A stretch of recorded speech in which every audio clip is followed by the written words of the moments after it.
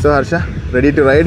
Yeah. It's a hot sunny day here. I'm pretty much excited to ride. So I'm considerably very new to tracks. What are your expectations from the RC? How do you think it will be at the track? So I have no expectations or anything for this. I just want to enjoy and I just want to see how the bike rides in the track.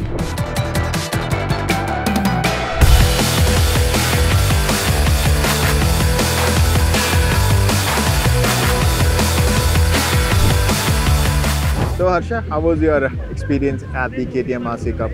I know you didn't get to ride Push it, yeah. ride it all out, but yeah, how- was the bike on the track? On track, it's hard not to push on this bike because it has so much of power and torque. Even though this is my first time with the bike on the track, I was trying to push it, but we were not allowed to push it actually because we had to follow the lead. But uh, what do you think about it? I mean, uh, do you think the bike is capable? A bike is definitely capable, but this track is too small for the bike.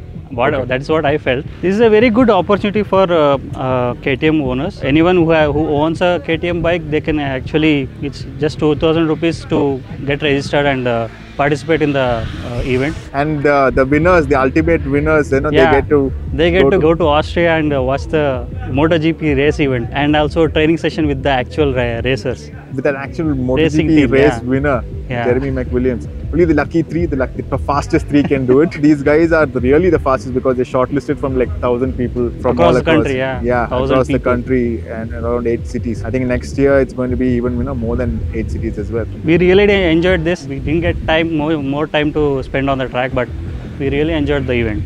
Thank you, KTM.